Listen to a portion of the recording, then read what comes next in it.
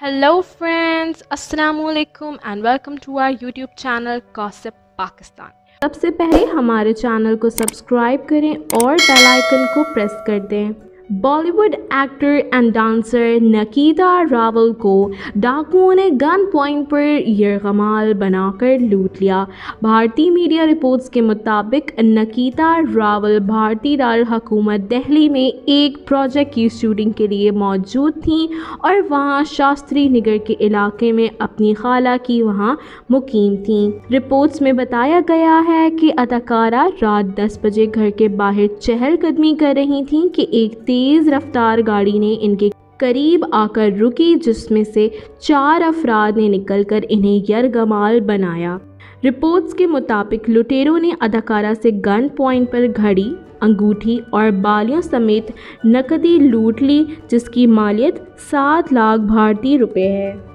भारतीय मीडिया से गुफ्तगु में अदाकारा का कहना था कि वारदात के 10 मिनट को अल्फाज में नहीं बता सकती क्योंकि मुझे डर था कि कहीं डाकू लूटने के बाद मेरा रेप न कर दें। इनका मज़ीद कहना था कि वारदात के बाद इतनी खौफजदा थी कि घर आकर ख़ुद को अलमारी में बंद कर दिया था। ख्याल रहे कि नकीता रावल ने कई बॉलीवुड फिल्म्स में काम किया है, जिसमें फ़िल्म ब्लैक एंड वाइट शामिल है। सो so फ्रेंड्स आज के इस वीडियो के बारे में आपका क्या ख्याल है? कमेंट सेक्शन में हमें ज़रूर बताइएगा। If you like the video then give it a thumbs up and don't forget to share it with your friends stay connected and if you like the video then give it a thumbs up and don't forget to share it with your friends stay connected and updated with us thank you for watching